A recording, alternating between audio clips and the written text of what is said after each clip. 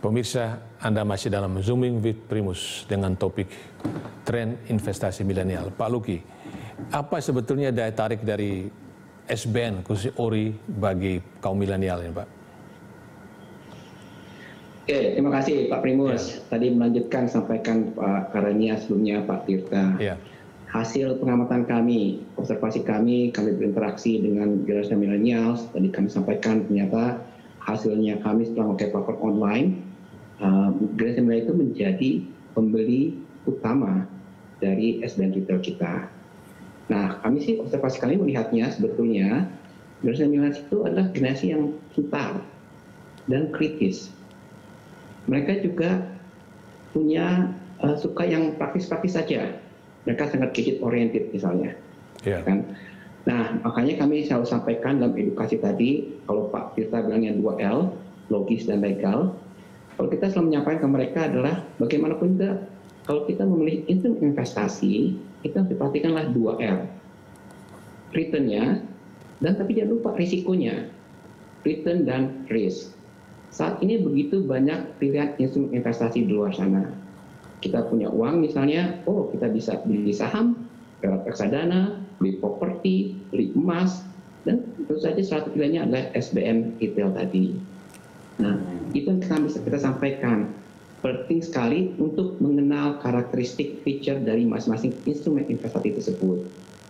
Nah, untuk SBN retail, ini yang sangat menarik. Feature-nya adalah pertama aman, karena dijamin oleh undang-undang ini produk pemerintah. Kedua, mudah. Kami sampaikan dengan memakai platform online sekarang dalam masa penawaran anywhere, anytime, 24/7 mereka bisa membeli SBN kita secara melalui online. Dan kemudian juga fitur berikutnya menguntungkan karena kalau lihat kupon atau imbal hasilnya itu sangat menarik, very kompetitif.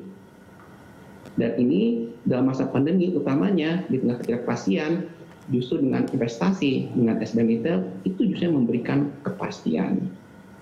Nah terakhir ini mungkin fitur yang tidak dimiliki oleh jenis instrumen investasi lain yaitu dengan membeli SBN retail, investor termasuk generasi milenial itu tidak hanya sekedar berinvestasi, mendapatkan imbal hasil, tapi juga mereka ikut secara langsung berkontribusi membangun negeri melalui pembiayaan APBN. Itu mungkin satu fitur yang berbeda yang membedakan SBN retail dengan instrumen investasi lainnya. Itu yang kami sampaikan ke, ke ke mereka. Nah, ke depannya yang mungkin di bahasa saya itu, jadi maksudnya uh, tugas kita bersama adalah begitu kita bisa menjangkau, memperkenalkan SBN retail ini misalnya ke generasi milenial dengan pemikiran mereka tadi yang sangat logis, yang mereka sangat kritis, itu mereka akan lihat bahwa SBN retail adalah merupakan satu instrumen investasi yang saat ini yang paling yang cukup menarik itu yang kita selalu sampaikan. Nah, kami sampaikan juga di sini, ini kita banyak generasi millennials itu adalah merupakan perluasan basis investor. Yang kedua, kita tuh ingin juga lebih uh, tujuan lebih besar lagi adalah bagaimana merubah masyarakat yang bukan hanya berbasis savings atau savings oriented society menjadi investment oriented society masyarakat yang lebih care, lebih bertujuan berinvestasi, bukan hanya sekedar menabung. Itu tadi sampaikan Pak Tirta bahwa kita kalau berinvestasi itu baiknya dari awal dan bukan hanya sekedar oh ada uang lebih, yuk kita sisihkan untuk kita ditabung. Itu bukan konsep atau prinsip investasi. Yeah. Itu bagian dari literasi yang kami lakukan juga dengan kemudian menyediakan instrumen investasi yang paling menarik dan tepat yang melalui SBN retail tersebut. Itu Pak Primus. Itu berapa berapa kupon bunga Pak sekarang penerbitan terakhir dari SBN ORI? Jadi memang kalau uh, kupon atau imbal hasil dari SBN itu karena kita punya marketnya itu pasti kita selalu lihat perkembangan mas, uh, pasar. Jadi ketika pasar uh, kupon SBN atau yield SBN itu bergerak naik, pasti ketika penerbitan akan naik. Kalau lagi turun, akan turun. Nah tadi sampaikan misalnya kemarin BI rate baru saja diturunkan, pasti kita kuponnya pun kita akan turun. Nah, tapi menariknya di SBN retail yang sifatnya non tradable, kita memberikan fasilitas namanya uh, floating with floor. Artinya apa? Ketika kita sudah set misalnya di angka 5,7 persen misalnya, kemudian BI rate saat itu turun. Ketika BI rate turun itu kita nggak nggak ikut turun imbal hasilnya. Tapi nanti kalau di masa pemberian kupon BI rate-nya naik, justru kita itu dinaikkan juga sesuai dengan kenaikan BI rate tersebut. Itu salah satu feature dari SDN retail kita yang sifatnya non-tradable. Jadi, oh nggak bisa turun, ada floor-nya, tapi ketika BI rate naik, naik sebagai suku bunga acuan, dia juga bisa ikut naik. Yeah. Itu mungkin salah satu feature yeah. yang menarik dari SBN retail kita. Baik lagi ini yang kita tawarkan kalau dan saya yakin kalau misalnya itu orang-orang pintar, orang smart, mereka melihat ini sebagai suatu feature yang sangat menarik. Ya. Dari data yang kami dapat bahwa kepemilikan asing di ORI cukup tinggi pada akhir Desember 2019, tapi turun uh, barangkali sekitar 10 persen ke bulan September. Nah itu banyak diambil, dibeli, ditampung justru oleh milenial. Apakah benar begitu Pak Luki? Uh, mungkin data tersebut adalah untuk kepemilikan SBN secara keseluruhan. Keseluruhan ya. Jadi sebelum pandemi itu asing itu memiliki hampir 38 persen dari total SBN tradable kita. Kemudian ketika masa pandemi ada sentimen negatif dan itu bukan hanya terjadi di Indonesia tapi terjadi untuk seluruh emerging market jadi ada capital outflow, orang me, uh, investor itu menempatkan dananya itu ke safe haven atau ke uh, instrumen-instrumen yang dianggap aman pada saat itu. Nah, tapi kemudian kita diuntungkan juga dengan kondisi domestik kita, terutama dukungan dari perbankan untuk bisa menggantikan kehadiran asing tadi dalam pasar SBN kita, plus juga adanya dukungan dari Bank Indonesia sebagai standby buyer maupun dalam skema burden sharing. Yeah. Nah, jadi bisa terlihat kalau di akhir tahun ini yield kita sudah turun jauh. Asalnya di atas 7 persen, 7,02, saat ini ada di kisaran 6,2 persen untuk yang seri 10 tahun. Dan itu terjadi dalam kondisi kepemilikan asing yang juga turun jauh. Dari 38 persen, saat ini hanya di kisaran 25-26 persen saja. Jadi menunjukkan juga adanya kemandirian kita bahwa uh, investor domestik kita bisa ikut mendukung pasar SBN kita. Ya, tahun depan 2021 rencananya berapa berapa size-nya Pak SBN dan termasuk retail ini Pak 2021?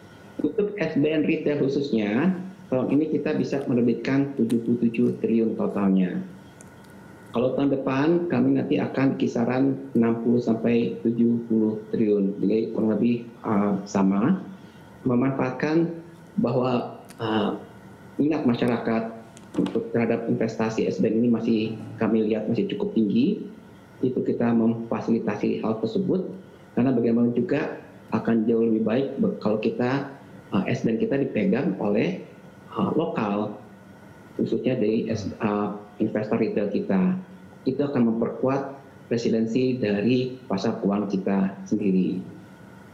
Apakah asing sekarang sudah masuk kembali, Pak? Dalam satu dua pekan ini? Nah, dalam dua bulan terakhir ini, asing sudah positif masuk. Asing masuk kurang lebih 21 triliun. Di bulan November sudah masuk sebesar 21, 15 eh, triliun, 16 triliun. Jadi ini fenomenanya memang uh, banyak hal Pertama misalnya hasil penuh di Amerika Serikat itu memberikan optimisme, ada sentimen positif, dan yang nggak kalah pentingnya juga adalah perkembangan vaksin. Jadi perkembangan vaksin itu memberikan ya. suatu stimulus uh, berita yang sangat positif dan asing mulai masuk lagi ke emerging market termasuk ke Indonesia. Dan kita berharap fenomena ini akan terus berlangsung, akan terus berlanjut di tahun 2021 uh, tahun tahun depan. Ya. Mas Karania, bagaimana saran Anda agar milenial ini lebih cerdas, cermat, dan sukses dalam berinvestasi ini, Pak? Ya, saya kira tadi saya ingin menggarisbawahi apa yang ya. disampaikan Pak Tirta bahwa memang uh, banyak yang sudah mulai mencoba begitu ya Pak Tirta, Pak Luki, tapi memang belum sepenuhnya memahami. Jadi baru coba-coba. Nah, tapi menurut saya ini uh, tetap sebuah basis yang penting karena uh, tentu kalau di dunia bisnis kita ya di dunia digital bisnis kita mengenal ada yang namanya remarketing Pak. Jadi yang mencoba, yang sudah masuk, saya kira ini justru peluangnya untuk bisa kita tingkatkan menjadi investor aktif yang literate itu sangat sangat besar uh, peluangnya ke depan. Itu yang pertama Pak Primus. Kemudian kedua, saya kira memang di sini perlu adanya dorongan lebih lanjut, uh, dukungan lebih lanjut dari OJK, Kementerian Keuangan, untuk lebih lanjut unlocking ada banyak opportunities yang sebetulnya uh, masih bisa kita unlock untuk accelerating further dari berbagai gejala awal yang kita lihat sudah sangat positif gitu. Kalau saya lihat Pak Primus ya, uh, milenial ini kan memang mereka sudah uh, sangat dimanjakan dengan mechanics uh, transaction mechanics yang didrive oleh e-commerce online trade travel gitu yang memang biasanya mensyaratkan adanya uh, apa instant gratification gitu ya instant liquidity uh, apa low fraction gitu nah ini yang mungkin uh, perlu adanya dorongan-dorongan dari regulator agar proses yang sekarang sebetulnya sudah sangat baik ini bisa menjadi semakin baik. Uh, sebagai contoh, uh, Pak Luki kalau uh, boleh uh, apa mengusulkan, uh, saya mengambil contoh Pak Tirta di reksadana. Selama ini industri reksadana kita itu bertumpu mostly pada uh, pembayarannya pada transfer bank. Nah, tetapi kita tahu karena transfer bank ini manual, kemudian custodian bank kita juga sangat manual, sementara terjadi high velocity dari transaction yang begitu luar biasa, itu uh, agak sedikit menjadi hambatan uh, Pak Tirta, Pak. Luki gitu karena ini terjadi sedang pasar sedang bergeser ke sebuah uh, apa retail market di mana volume transaksi begitu besar dan saya kira dalam satu point at one point ini sudah tidak lagi bisa dihandle secara manual. Nah, kemarin di Bareksa kita mencoba melakukan integrasi dan terima kasih atas persetujuan dari Bank Indonesia mencoba mengeksplor bagaimana misalnya uang elektronik, Pak Luki ya, bisa di, di-exploit, di-leverage untuk membantu menyediakan sebuah solusi pembayaran yang lebih fit dengan millennials. Nah ternyata ya. kalau saya lihat datanya di Bareksa, sekarang itu 55% transaksi pembayaran yang menggunakan e-money untuk membeli reksadana itu sudah uh, menggunakan e-money karena memang prosesnya lebih cepat, mereka mendapatkan instant verification gitu.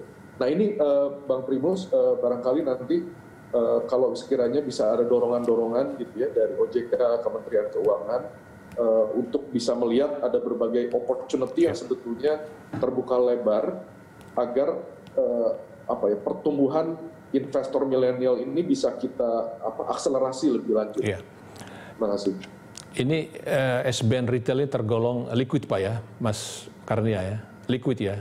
Jadi orang kapan beli, kapan jual itu nggak masalah ya di secondary, secondary market. Uh, ini pakarnya Pak Luki, mohon izin Pak Luki, uh, kebetulan kan memang kuponnya setiap bulan gitu ya Pak Pak Primus, yeah. karena itu uh, saya kira cukup menarik dan mungkin menambahkan tadi Pak Luki, uh, memang kalau kita lihat karakter dari investor baru ini kan karena namanya juga baru ya, baru mencoba gitu, itu memang sangat risk averse, bukan risk taker gitu. Nah karena itu memang uh, instrumen seperti SBN, uh, eh, saya kira memang fit dengan apa dengan dengan kebutuhan dari uh, apa rookie investor atau investor yang kurang berpengalaman yang memang sebagian besar dari milenial. Dan mungkin menambahkan sedikit dari Pak Ruki tadi, Uh, saya kira tadi menarik Pak, kami juga di Bareksa uh, selalu mengedepankan uh, sentimen nasionalisme gitu, karena yeah. saya yakin bahwa negara kita ini sebetulnya sangat nasionalis gitu ya, yeah. punya keinginan untuk membantu negara. Nah ini yeah. saya kira juga menjadi daya dorong dari yeah. milenial kita untuk yeah. uh, apa uh, membeli SBN yeah. retail. Baik Pak, Pak Tirta, pesan Anda buat milenial kita agar cerdas, cermat, sukses dalam investasi? Ya, uh, tingkatkan terus uh, literasi keuangan, pahami karakteristik uh, instrumen investasi dan investasi dari sekarang. Jangan ditunda-tunda. Satu lagi, untuk uh, investasi itu uang bukan uh, uang sisa, tapi memang harus disisihkan dari awal, diinvestasikan, baru sisanya dibelanjakan. Jangan sisa belanja. Itu saja Pak Primus. Terima kasih. Ya. Pemirsa, kita sudah mendengar pemaparan dari tiga narasumber kita semuanya mengingatkan bahwa mulailah berinvestasi untuk kaum milenial. Lebih awal investasi, Anda nanti akan lebih sukses meraih masa depan yang sejahtera, masa tua yang sejahtera. Kemudian milenial itu memberi harapan kepada kita semua bahwa kita akan beralih dari saving society menuju eh, dari dari saving society menuju investing society. Mudah-mudahan itu dan kemudian pembelian SBN ini manfaatnya banyak. Tadi dijelaskan oleh Pak Luki, dia aman, mudah ya, gampang kapan bisa dibeli, imbal hasilnya sangat bagus. Kemudian kita juga membantu negara, membangun negara. Tidak tergantung pada investor asing. Dan yang aman itu satu-satunya invest, invest in, apa namanya instrumen investasi yang oleh undang-undang dinyatakan tidak boleh gagal bayar ini adalah SBN. Nah, oleh karena itu tepatlah anak-anak muda milenial membeli SBN.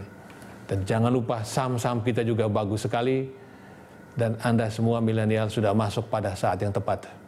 Demikian pemirsa kita terima kasih kepada narasumber kita, Pak Tirta terima kasih, Pak Luki dan Mas Karania Demikianlah Zooming with Primus dengan tema Tren Investasi Milenial. Terima kasih atas kebersamaan Anda. Sampai jumpa.